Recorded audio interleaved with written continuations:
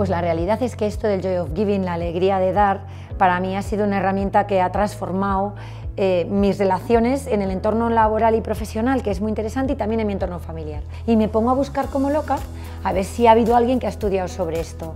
Y ha estudiado mucha gente. ¿no? La primera que encontré en el 2008 fue Elizabeth Dunn, que escribió un libro diciendo que dar genera felicidad.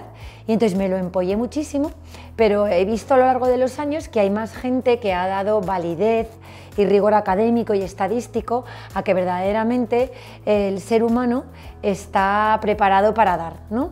Y es que tengo este libro que me encanta y os lo quería recomendar, que se llama Humankind, que lo que viene a explicarnos es que la evolución de la humanidad respecto a otras especies viene principalmente de la empatía y de la capacidad de unos reflejarnos en otros y de vernos de manera homogénea como personas.